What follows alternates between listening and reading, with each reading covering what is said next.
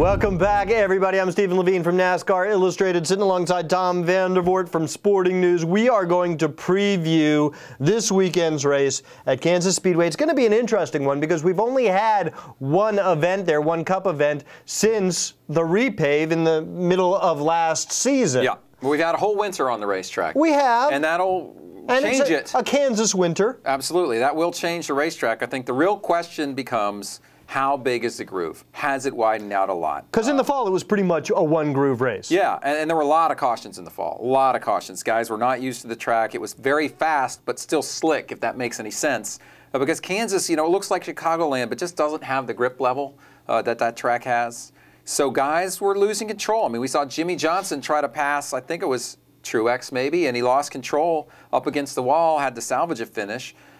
There were a lot of cautions last year in this race. There were. During a season where there were just not many cautions overall. And I don't think we should expect anything vastly different in this race. I still maybe the groove has widened out a little bit, but I, think I we'll still see think far fewer cautions. I still think it's going to be a super fast race. Sure, I think it will be, you know, a track position race. Uh, it was a track position racetrack before the repave, right. and the repave has only exacerbated that quality. Uh, it's going to be about, as a matter of fact, I think eight of 14 races have been won by somebody who started within the top 10. Sure, and the thing of it is, you have to, as a race team, say to yourself, what is the best way? What are the things I need to master to, to get to the front, to pass other race cars? And when you look at it here, it's like it's more pit strategy, pit stops, fuel mileage. It's more that and a little bit less. Oh, I, you know, I, I fixed that handling problem. Now I can drive down underneath the guy in turn two because you might be faster than somebody else, but if you're not you know, enough faster, you just get stuck because of the dirty air and you just can't get enough grip. Uh, when you get out of that one groove to get by them. So looking for two tire stops, looking. Uh, yeah, depending yeah. on tire wear. Uh, and looking for fuel mileage. I think I, you have to say it again. This race has been a fuel mileage race at times in the past. Absolutely. So that's something you got to keep your eye on here. All right. Well, we're going to come back with our picks. Oh yeah. With a special guest. A special guest. Um, you know, we, we started this last week. Right. It's going to be a weekly thing this Which season. is great. Where we have our special guest. Very now, special. Last week, none of us picked the right no, the right one driver. of us did have the highest finishing okay. pick. And we'll talk about that after this magical wipe. All right, we're back, and as promised, we have classed up the joint with Kim Coon, Miss Sprint Cup. And what's with the green? We didn't get to vote on this fire suit. I know you didn't. Well, we're wearing green because April there's Earth Day, so we're promoting phone recycling as well as we have a buyback program where buy back your old cell phones. We just want to keep the phones out of the landfill. And in addition to it's National Distra Distracted Driving Awareness Month, so just encouraging people to focus on driving. So just a reminder. So we'll be donating this in Kansas this weekend. Okay. And it's like we're going to Kansas. There's no place like home. Emerald City. It just all. Oh my gosh! right? Well, this is like so many Right? levels. There's but so you should many have on you should have on ruby sequined I know, I should. Is there like any like Reread. Hegel or Marx or anything involved in this? What? I'm talking about like philosophy. Like there's got to be some deeper level. You just went, Freud. you just went way off into left field. Yeah. I guess Hegel so. and Marx. You're because he. Yeah. All right. History major. Um, let's talk about Kansas um, because you know it's a pretty good track for Jimmie Johnson. It's a pretty good track for Greg, Greg Biffle. Biffle. Matt Kenseth won there last year. last have you, win for, have you uh, considered your pick Rouse because Fenway. your your compatriot last week, Brooke, God love her. Yeah, God love her. She went out on a limb. And we do too. We and do it too, was but- a really, really long limb with Yeah, her Ricky and it kinda broke. Jr. pick. The limb kinda broke.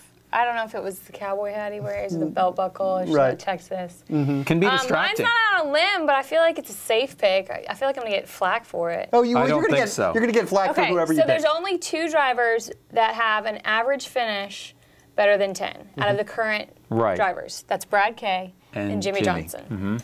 Um, and then in addition to that, Hendrick has had four wins at Kansas. Yep, including the first two by Jeff Gordon. Right, and then the other two by Jimmie Johnson. Mm-hmm. The most, I think they're tied with one other uh, shop. Are you telling us you're going with Jimmy? So I'm going with Jimmy. That's hey, you know I'm what? Going with Jimmy. We got a saying around here, which is the obvious pick is not necessarily a bad idea. I do right. it all the time. Okay. So I'm not giving you grief. I don't, and know if that it's, I don't know if it's obvious, but it's definitely a solid safe It is a pick. solid There's pick. Look, nothing wrong. Look, Ji- if you're under the basket with the ball, just shoot the layup. There you You know, you don't have to get Jimmy fancy. Johnson's going to be a solid pick anywhere but perhaps Sonoma and Watkins Glen. Yeah. Pretty much. And he's won at Sonoma anyway. Yeah. but, you know, even a blind squirrel can find a nut. Now, are you Are going you to go saying next? Jimmy's a blind squirrel? when it comes to Sonoma, are you going to go next or am I going to go next? well, I yes, I am. Because right. I mean, I you know the guy. Because you like- know who I want to pick. Yeah, and I- you're going to pick him, aren't Of you? course, Oh. of course. Look, Martin Truex Jr. was second in both races here last year, and he was second last week at Texas with a dominant car, got beat out of the pits by the pole sitter, which happens.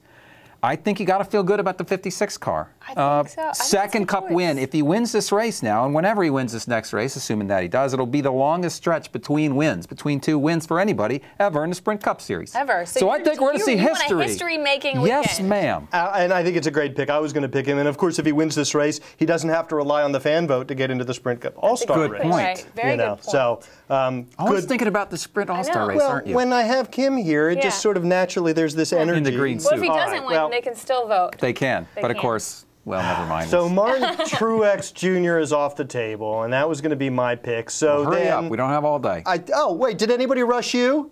no, but I didn't go last. I guess then I will go with Greg Biffle. You know, eh, this is a Roush Fenway style track. Um, and uh, Greg has been strong at times this season, maybe not as consistent as He was uh, fourth last week, as right? we'd like to see. But That's you not who know, I thought you were going to go with. who do you think I was I thought going you were going to go with Clint Bowyer.